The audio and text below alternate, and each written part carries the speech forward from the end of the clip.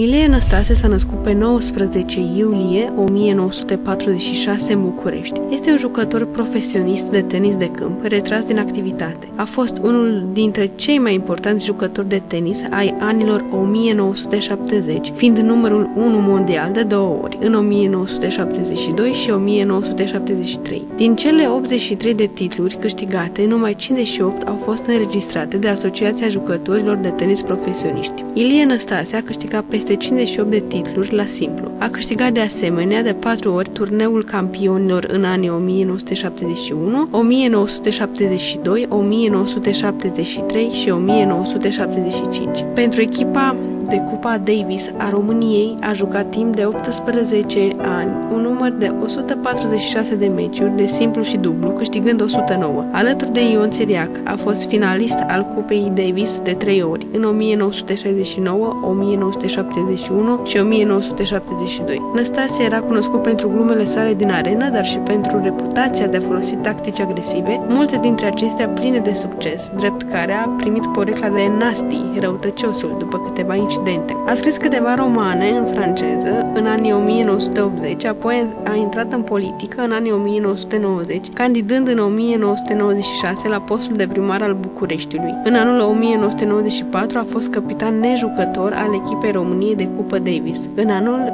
2005, Tennis Magazine l-a plasat pe locul 28 în lista celor 40 cei mai mari jucători de tenis din ultimii 40 de ani. A fost desemnat de 4 ori, cel mai bun sportiv român al anului. În 19 1969, 1972, 1973 și 1974. La 12 februarie 2008, după aproape 11 ani, la șefia Federației Române de Tenis, a demisionat din funcția de președinte al Federației, declarându-se învins de justiția și de presă din România. Printr-un decret prezidențial din 1 decembrie 2008, Ilie Năstase a fost înaintat în gradul de general major cu două stele în retragere în Ministerul Apărării.